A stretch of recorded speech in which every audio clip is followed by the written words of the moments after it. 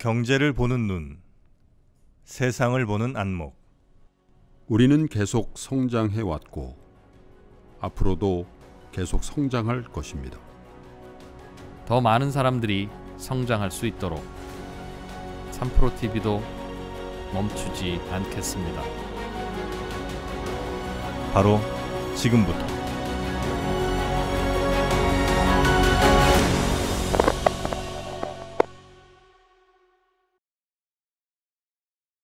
자, 그러면 뉴스 3 첫 번째 뉴스부터 전해 드리겠습니다. 저희가 그렇게 걱정에 맞지 않던 모든 저 전문가분들이 항상 이 얘기 많이 하셨던 것 같은데 결국 인플레이션 우려에 미국 증시도 좀 반응을 네, 했고 어제 사실 예. 제가 개장 초에도 보고 잤는데 사상 최고가 치고 있었거든요. 3대 지수 다. 근데 이제 이 인플레이션 지수가 나오면서 싹 빠지면서 근데 뭐 많이 빠진 건 아니에요. S&P가 0.35, 나스닥이 0.38뭐 이 정도 빠졌으니까 다우 지수도 0.3 이렇게 한 3, 0.3% 정도 빠졌으니까 사실 나온 인플레이션에 대한 우와 이런 거에 대비하면 뭐 그렇게 많이 빠진 건 뭐 공포감이 왔다 이렇게까지는 아닌데 어쨌든 에, 6월 미국의 CPI 소비자 물가 지수죠. 이게 0.9%가 오르고요. 작년 같은 기간보다는 5.4%가 아, 상승을 했습니다. 이게 에, 연간 기준으로는 에, 5.4% 2008년 8월 그러니까 금융위기 바로 직전이죠. 네. 예. 야, 2008년 8월 하니까 생각이 새로 새록새록한데 제가 이제 미국에서 한국으로 들어온 때가 요때인데 어쨌든 요때 이후에 가장 높은 예, 수치가 나왔어요. 근데 월스트리트저널이 집계한 전문가 예상치를 다 뛰어넘었습니다. 당초 전문가들은 에, 전월 대비 한 0.5%, 0.5. 에, 그리고 전년 대비 0, 5%요 정도였는데 에, 전월 대비도 상당히 많이 에, 예, 이걸 뛰어넘는 거죠. 그래서 이제 우리가 보는 것 중에 이제 물가지수라는 거는 제가 이제 미국의 정확한 구성비는 모르겠습니다만 네. 우리나라 같은 경우는 뭐 전월세 같은 게 제일 가장 높고 음. 그렇게 돼 있거든요. 미국은 아마 뭐 휘발유 이런 거 제일 높겠죠. 근데 네. 어쨌든 변동성이 크다 그래서 또 계절적인 어떤 그 가격의 변화가 굉장히 심한 거가 음. 식품이 있고 음식이 있고 그 다음에 이제 에너지 이게 네. 이제 에, 우리가 이제 가스 이런 거죠. 저, 저, 에너, 저 휘발유 이런 건데 요걸 싹 뺀 거를 이제 근원 CPI라 그러거든요. 근원 CPI 전월보다 0.9% 전년 대비로는 4.5% 올랐다. 이것도 역시 전문가 예상치보다는 많이 올라가 있다 그런 건데 근데 이제 이렇게 하다 보니까 이제 제임스 불러드 세인트 루이스 Fed 총재 뭐 한동안 화제가 됐던 분이죠. 네. 비둘기파에서 매파로 바, 바꿨다 뭐 이런 얘기 때문에. 근데 월스트저널과 인터뷰를 했는데 경제가 7% 성장하고 팬데믹이 점점 잘 통제되고 있는 상황에서 비상 조치를 축소할 시기였다. 이 비상 조치라는 게 뭐예요? 양적 완화죠. 그죠? 근데 이 말을 다른 얘기로 하면 테이퍼링 빨리 해야 된다. 이런 얘기가 되고 반면에 메리 데일리 샌프란시스코 Fed 총재도 어제 CNBC하고 인터뷰를 했는데 인플레이션의 급등세는 일시적이다. 이거 누가 하는 얘기입니까? 제롬 파월이 하는 얘기죠. 일시적이다. 아. 근데 일시적이다라고 할 수 있을 만한 얘기가 그럼 근거가 있냐? 네. 근거가 있다는 거예요. 중고차 및 트럭 가격이 아. 지난달보다 10.5%가 급등하면서 전체 지수 상승분의 3분의 1이 여기서 나왔다는 거예요. 중고차가 또 그렇게 네, 올랐어요? 중고차하고 트럭 가격이 10% 지난달 대비해서 10%가 오랐는데. 예. 오를 만큼 다 오른 거 아니에요? 그러니까 그래서 전체 지수의 3분의 1은 여기기 어. 때문에 사실 이게 뭐 미국 사람의 생활에 영향을 주지 않는 건 아닙니다만 네. 특정 섹터가 워낙 많이 올랐기 때문에 음. 이런 것들을 보면서 이제 에, 연준이라든지 또 전문가들은 야 이거 일시적이야. 음. 지금 정프로가 얘기했듯이 아 중국값이 뭐 어? 태산이 높다 대 이렇게 되겠냐 이거죠. 그래서 이런 것들은 이제 일시적으로 예를 들면 신차의 수급이 원활해진다든지 이렇게 되면 일시적일 수 있다 이렇게 에, 보는 건데 어쨌든 에, 월스트리트 저널을 비롯한 그 미국의 이제 전문가들 군들은 뭐라고 하냐면 급격히 늘어난 수요가 기업들의 공급 능력을 초과해서 발생한 현상이다. 음. 그러니까 이제 두 개 다가 이제 겹쳤다는 거죠. 수요도 급격히 늘어났고 공급은 병목 현상이 있었고. 음흠. 근데 이게 이제 만나도 만나도 보니까 특정한 섹터에서 인플레이션이 급속도로 이제 올라오다 보니까 전체 네. 지수가 올라온 거다 이렇게 보는 거죠. 그래서 이 인플레이션에 대한 우려가 에, 증시에도 좋지 않게 영향을 줬습니다만은 우리가 이제 금리가 계속 빠진다라는 얘기했죠. 1.2%대까지 빠졌던 에, 미국의 10년 만기 국채 금리가 어제 급등을 했습니다. 1.42로 다시 1.4%대까지 네. 이제 올라왔죠. 근데 어쨌든 어제도 제가 금리 말씀을 드리면서 금리의 상승은 주가의 하락, 금리의 하락은 주가의 상승이라 이 포뮬라, 이 공식은 유효치 않을 수 있다 네, 이런 네, 말씀을 드렸는데 모르겠습니다. 이제 오늘 밤에 에, 그 제롬 파월 연준 의장이 하원에 가서 또 증언을 하게 돼 있거든요. 과연 이러한 굉장히 놀랄만한 에, 물가 지표를 보고 나서 제롬 파월이 국회의원들 앞에서 의원들 앞에서 어떤 얘기를 하는지 좀 지켜봐야 되겠습니다만은 제, 제 생각으로는 원론적인 얘기 할 겁니다. 일시적이다는 얘기 할 거고 그리고 아, 테이퍼링이라든지 이런 것들은 에, 사실 지금 이 물가가 나오기 전 분위기는 뭐였냐면 야 이게 급하게 빨리 할 필요 있나 이런 분위기가 좀 잡혔잖아요. 왜냐하면 네, 에, 델타 변이 바이러스라든지 이런 것들이 다시 좀 확산되는 에, 추세라니까 그래서 에, 물가를 반영한 아주 강경한 얘기가 나오기보다는 그전 분위기를 이어가는 그런 에, 언급이 있지 않겠나 이제 그런 생각인데 오늘 밤을 한번 에, 주목해 봐야 될 것 같습니다. 네. 자, 첫 번째 뉴스는 미국 물가 관련된 네. 아, 인플레이션 관련된 뉴스였고요. 두 번째 뉴스는 아, 네이버가 이제 어제 다시 네. 시총 3위를 아 그렇죠. 예, 탈환했는데 외국인들도 좀 많이 사고 있는 모양이죠. 그렇습니다. 이제 카카오 비켜 비켜 이렇게 된 거죠. 아니 뭐 카카오가 변비도 아니고 뭘 자꾸 비키라고 그래요. 아니 내가 뭐 그 그런 의미로 자기를 보고 얘기한 건 아니야. 아, 그렇습니까? 아, 굉장히 자격지심이. 예, 시총 3위를 탈환했는데 네. 어제 많이 올랐죠. 5.38. 와, 이 대형주가. 그죠? 예. 아니 뭐 네, 코스닥에 있는 뭐 중소형주라든지 바이오주 5.38이면 뭐 그럴 수도 있지. 내일 또뭐 음. 5% 빠질 수도 있으니까. 그런데 만약에 생각해 보세요. 네이버가 5.38% 빠졌다. 아, 이거 아, 엄청 충격이죠. 충격이죠. 그죠? 예. 그만큼의 어, 놀랄만한 일이라는 게 시가총액 1위부터 5위 안에 들어가는 이 초대형주가 5%씩 움직일 때는 뭔가 수급상의 변화가 있거나 음. 어 이건 뭐 생각을 좀 달리 해봐야 된다 이런 게 없으면은 사실 5%씩 이렇게 안 움직입니다.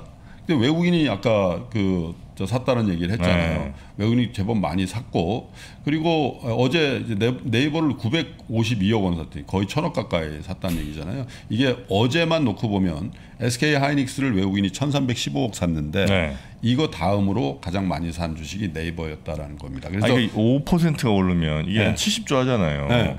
그러면 3조가 오른 거예요? 그렇죠. 3조 이상. 네. 시가총액이 그래서 72조 4,400억이 됐는데 음. 반대로 제 관심 종목에도 이렇게 돼 있거든. 네이버 그 다음에 카카오 이렇게 카카오예요? 돼 있어. 그런데 통사 같이 움직이잖아요. 이 아. 것들이. 근데 어제는 카카오가 0.62% 내려서 16만 천 원에 마감을 했거든요. 그래서 시가총액이 71조 5,581억 원. 그래서 시총 4위가 돼서 비켜 이렇게 됐다라는 얘기죠. 근데 왜 올랐냐? 골만삭스가 긍정적으로 얘기를 했어요. 그래서 외국인 수급에 영향을 줬을 거다 이런 건데 골만삭스 뭐라 했냐면 네이버의 올해 2분기 매출이 이제 2분기 실적이 곧 나옵니다. 전년 동기 대비해서 20% 증가하고 영업이익도 대단히 안정된 상승세를 보일 것이다. 이렇게 이제 코멘트를 하면서 외국인 매수세를 자극을 했어요. 특별히 2분기 검색 플랫폼 성장률이 2019년, 2020년의 연간 성장률인 6에서 9%를 크게 웃도는 네. 20%대를 기록할 것이다. 이렇게 썼고요. commerce, 핀테크, 클라우드 전 부분에 걸쳐서 40% 성장세가 뚜렷할 것이다. 아, 이 commerce, 핀테크, 클라우드 부분 얘기하는 거죠. 이렇게 평가를 했죠. 이를 근거로 해서 그럼 네이버 목표 주가 얼마냐? 55만 원이라는 거예요. 55만 원? 네, 지금 44만 원이잖아요. 네. 그러니까 한 20%더 올라간다는 얘기가 되는 거죠. 그래서 어쨌든 이런 이제 호평들이 나오면서 네이버에 대한 기대감이 이제 커졌다 이렇게 되는 거고 국내 DB금융 투자에서도 네이버의 매출액과 영업이익이 각각 전년 동기 대비해서 31% 영업이익 4% 이렇게 증가할 것이다 이렇게 전망을 했습니다. 네. 그래서 역전이 됐다고 하는데 저는 실질적으로 역전됐다고 생각하는 게 아니라 한참 카카오 시총이 높다고 봐요. 아, 뭐 매출 뭐 이런 거 비교해 보면 아니 그게 아니라 네. 네이버는 상장사 요거 하나예요. 아. 이 안에서 다 하잖아요. 네, 네, 네. 네이버는 계열사가 많이 없거든. 네. 계열사가 없는 건 아니지만 근데 카카오 보- 볼까요? 카카오 게임즈 지금 상장돼 있죠. 그거 한 6조 정도 되잖아요. 아, 그렇죠. 이미. 근데 카카오뱅크 상장한다며요. 그래서 뭐 최대 30조 얘기 나오고. 페이. 카카오페이 최대 12조 나오고. 네. 그 외에도 줄줄이 있어요. 그리고 사실은 네이버는 한 덩어리로 하는 거고 카카오는 다 분할해서 하는 거잖아요. 그래서 어떻게 보면 카카오 그룹, 네이버 그룹이라는 측면에서 보면은 사실 이 시총의 차이는 카카오가 훨씬 크다. 이렇게 보는 건데 그거에 대한 정당성이 있는가에 대한 논점이 있는 거죠, 사실은. 네이버도 좀 하시지. 그러면 안 되나? 근데 전략이 좀 다른 것 다른가요? 같아요. 예. 그래서 이제 어제도 뭐 삼성전자 분할 얘기를 살짝 했습니다만 예. 글쎄 한 덩어리로 하는 게 맞는가? 예, 주주의 관점에서도 음. 네네. 그래서 이렇게 아그 물 물 아니에요 물 물 하라는 얘기가 아니라 어쨌든 에, 그 분야의 최고의 경쟁력을 가지려면 음. 어떻게 그 책임 경영제를 하면서 어떻게 보면 고 에, 분할한 그 회사들이 전 세계 어떤 경쟁자들하고 에, 선의 경쟁을 해서 global standard를 만드는 그런 특히 뭐 이 플랫폼이라든지 음. 이런 IT 쪽에서는 그런 것도 한번 생각해 볼 따름이다 이렇게 생각이 드네요. 네. 어쨌든 카카오가 4위로 그리고 네이버가 3위로 바뀌었다 이런 뉴스가 있습니다. 자, 두 번째. 아마 이 카카오 네이버는 워낙 또 개인 투자자들도 많이. 투자하신 예, 종목일 거라 이렇게 근데 또뭐 사실은 정답은 그거였어요. 저는 누구였어요? 그 하나금융 투자였나? 누가 그랬잖아요. 두 개 다? 어떻게 해야 돼요? 그랬더니 네. 골치 아프면 두 개 다 사세요. 네, 네, 네. 그 말이 정답이었던 것 같습니다. 아니 그죠. 뭐 엎치락뒤치락 하면서 계속 둘다 올랐으니까 두개 다 사는 게 제일 좋았죠. 예. 두 개 중에 아무거나 샀어도 하긴 뭐 괜찮기도 아, 했고요. 그럼요. 네. 근데 사실 이런 거죠. 카카오가 3위가 됐을 때 네. 내가 지금 생각해 보면 그러더라고. 카카오 3위가 된 게 한두 달 전이잖아요. 음. 그때 그냥 네이버를 사든지 카카오를 사든지 두 개 다 사든지 이렇게 했으면 될 것 같아요. 왜냐하면 이게 갑자기 빠지면서 3, 4위가 바뀌지 않고 올라가면서 바뀔 가능성이 더 많았지 않았을까. 음. 네네. 뭐 그런 생각을 아, 죽은 뭐지 뭐. 네. 그럼 뭐 구둔자예 구둔자. 지난 다음에 뭐 음. 무슨 의미가 있겠습니까? 그러니까. 자 그리고 음. 어, 지금 뭐 국민연금이라든지 하여튼 연기금들이 이제는 이제는 다 팔았다 이런 분석들이 이제 나오고 있는 거죠. 그래서 이제 이데일리에서 이제 그런 기사를 하나 냈는데 이제 그걸 보여드리면은 에, 코스닥을 연초 기준으로 해서 이제 누적 기준으로 순매수가 됐다 이런 기사예요. 차트를 하나 보여주시면은 물론 이제 뭐 코스피도 이제 보여드리겠습니다. 저게 이제 올해 들어서 연기금의 코스닥 누적 순매수 추이거든요. 근데 최근 들어서 7월 4일 이후에 저 기준점 위로 올라오잖아요. 이게 저기 누적한 거예요. 그러니까, 음. 네, 네, 네. 그러니까 전날 전날 이제 매수가 많았다는 게 아니라 누적으로 쭉 해보니까 계속 팔고 있다가 에, 3월 4일, 3월 4일 이후에 쭉 올라오잖아요. 그죠? 네, 네. 코스닥 쪽에서는 이제 연간 기준으로 한 6개월 해보니까 연기금이 순 매수가 됐다 이런 겁니다. 그래서 에, 거래소의 자료를 보니까 연기금의 코스닥 누적 순매수 규모가 575억이라는 거예요. 그래서 6월 30일 기준으로 올 들어 처음 순매도에서 순매수를 전환했는데 이달 들어서만 보니까 2거래일을 제- 제외한 7거래일을 순매수를 했다는 거죠. 그래서 코스닥 시장에서만 놓고 보면 이제 연기금의 매도로 인한 매물 압박은 없어졌다. 네. 이렇게 보는 건데 에, 다음 차트를 한번 볼까요? 근데 너무 변화, 너무 이게 차이가 많이 나죠. 이게 코스피 시장의 연기금 누적 순 매수 추인데 계속 밑으로 기죠. 근데 어쨌든 저 에, 에, 1분기의 어떤 그 하락 추세, 네. 그 하향 추세, 저게 계속 매도를 많이 해서 저런 이렇게 차트가 나온 거 아니겠어요? 근데 어째 조금 평탄화되고 있죠. 네, 한 5월부터 5월 지나서부터 그렇죠. 저게 이제 중요한 건데 저게 이제 누적 순 매수이기 때문에 네. 에, 사실은 최근 들어서는 순 매도가 급격히 감소했거나 어쩌면 순 매수로 돌아서고 있을 수도 있는 차트죠. 왜냐하면 누적이라는 게 음. 거니까. 그래서 에, 어쨌든 에, 국민연금을 비롯한 에, 여러 이제 4대 연기금 얘기하면 국민연금, 뭐 군인공제, 교원공제, 뭐 우정사업본부 또 사학연금 뭐 이런 데를 이제 치거든요. 네. 이런 데들의 어떤 에, 연기금의 매도세가 에, 1분기보다는 훨씬 좀 덜해져 가고 있다 이렇게 음. 봐야 될 것 같은데 그게 이제 가장 중요한 게 국민연금이에요. 그래서 아시겠습니다만 지난 4월 9일날 국내 주식에 대한 전략적 자산 배분의 이탈. 그러니까 야 원래는 니네 이 정도까지만 해야 돼 그렇게 돼 있는데 니네 재량권으로 맡기는 걸 플러스 마이너스 1% 이렇게 확 어, 이게 확대를 해줬거든요. 그런 것들을 감안해서 놓고 볼 때 그 연기금의 매도 압력, 그러니까 시스테미칼리, 그러니까 어쩔 수 없이 팔아야 되는 그 매도 압력이 네. 조금 줄어들었다라고 이제 에, 분석을 하는 거예요. 그래서 아마도 연기금이 5월에서 7월 사이에 한 1조 원 이상 순매도를 했고 에, 지금도 간헐적으로 순매도가 나오고 있긴 한데 에, 3, 4월 달에 국민청원하고 그랬지 않습니까? 음. 네네네. 하여튼 그런 것들에 비하면 조금은 이제 매도 압박이 좀 덜할 거다 이렇게 보고 그래서 이제 일부 이제 애널리스트들이 야 요게 수급상 팔 만큼 판 종목들 한번 봐야 되는 거 아니야? 음. 이제 이런 보고서들이 나오고 있어요. 예를 들면 KTB 투자증권의 김경훈 연구원 에, 보고서를 보니까 에, 실적이 괜찮고 기관 수급의 바닥권을 통과하는 기업들 이런 거 좀 봐야 된다. 그게 뭐 이거 여러분 뭐 바로 사시라는 게 아니라 이 보고서를 인용해 드리면 LX 인터내셔널, F&F, 유바이오로직스, 뭐 삼성전기, 네이버, 휴켐스, 뭐 삼성 SDS, 에, 녹십자 뭐 이런 이런 회사들이 거기에 네, 들어간다라는 거예요. 그래서 한번 보시고요. 그리고 FN 가이드라는 데가 있죠. 이 차트 한번 보여주시면 코스피 200 종목 그러니까 대형주죠. 200 종목 중에 1년 동안 기관 순매도가 굉장히 강했고 실적 컨센서스가 큰 폭으로 상향되고 있는 종목을 sort해 보니까 이렇게 돼 있다는 거예요. 풍산이라든지 한솔케미칼, 만도, 효성 TNC, 에, CS 윈드, 하이트진로, 이마트 이런 이제 코스피에서는 이런 종목들이 네. 실적이 상향되고 있는데도 불구하고 기관이 많이 굉장히 팔았다. 많이 판 종목이고 코스닥에선 LX 세미콘, 심텍, 카카오 게임스, 와이솔, 아프리카 TV, 스튜디오 드래곤, 테스 이런 종목들이 그렇다는 거예요.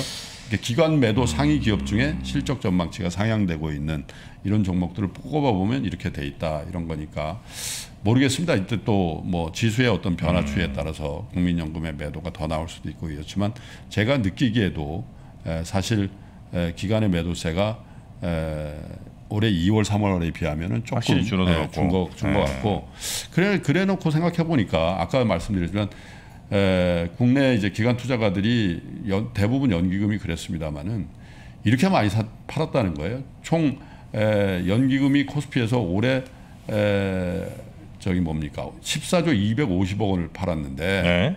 그러면 어, 이게 기간이 언제냐면 에, 코스피에서 지난 12월 24일부터 3월 12일까지 51거래일 동안 순매도를 하고 그랬거든요. 음. 그러면 이렇게 많은 매도 그리고 외국인도 엄청 팔았잖아요. 네. 버텼다는 거죠. 음. 그리고 사상 최고가를 치고 있는 거예요, 사실은. 그래서 지금 사상 최고가를 치고 있는 코스피 코, 코스닥도 사실 현실적으로 1000포인트 이상에서 놀아주고 있는 게 사실 굉장한 거다라는 거예요. 음. 그걸 누가 맞추고 있냐? 우리 개인 투자자들이 받치고 있는데 이 개인 투자자들이 그럼 투기적으로 들어온 거냐? 아니면 추세적으로 들어온 거냐? 네. 이거는 이제 뭐 제가 굳이 말씀 안 드리겠습니다만 우리나라 가계 자산의 어떤 큰 변화의 과정에 초입에 있다라는 측면에서 에, 우리 에, 증시의 수급이라는 게 기관과 외국인이 만약에 순매수로 돌아섰을 경우에 어떻게 네. 될 건지 어떻게 될 건지 이런 부분에 대한 기대도 함께 있는 것 같습니다. 저 보니까 아, 조심스러운 예언 하나가 가능할 것 같은데 코스피를 집중적으로 이제 산다. 어. 근데 코스닥은 거의 이제 제로까지 온 거 아니에요. 순매수 순매도 해보면 네. 연기금들이. 근데 이제 코스닥 아, 코스피는 아직 마이너스 한참인 거잖아요. 그렇죠. 19조. 그러니까 네. 아까 제가 말씀드린 코스피 14조 250억은 네. 12월 24일부터 3월 22일까지 51거래 순매도를 한 게 14조고 네. 누적으로 따지면 19조 5천억 수준이에요. 네. 많이도 팔았죠. 코스피입니다 이제. 네. 제가 볼 땐 코스피예요. 코스피야? 네. 정프로의 예언은 코스피입니다. 오케이. 이게 별로 이렇게 아니 그렇게 됐으면 좋겠다. 의미 두지 않으시는 것 같은데. 예. Good. 알겠습니다. 자, 그럼 뉴스 3 이 정도로 저희가 정리하고요. 얼른 네. 또 박병창 부장님 만나서 미국 상황도 한번 들어보도록 하겠습니다. 네. 광고 듣고 옵니다. 코로나19 백신 1차 누적 접종자가 오늘 오전에 천만 명을 돌파했습니다. 9월까지 모두 2,300만 명이 접종을 끝내야 하는데 이 접종 속도는 더 빨라질 것으로 보입니다. 1920년대가 떠올려지는 지금의 모습. 코로나 이후의 시대. 우리는 어디에 투자를 해야 할까? 3프로TV 주식대학 여름학기. 리서치 명가 메리츠증권 이경수 사단의 최고 애널리스트들과 함께 필기하며 공부하는 하반기 투자 전략과 업종별 시장 전망. 여러분의 하반기 수익률을 책임질 총 24강의 투자 전략. 페이지 2 앱에서 확인해 보세요.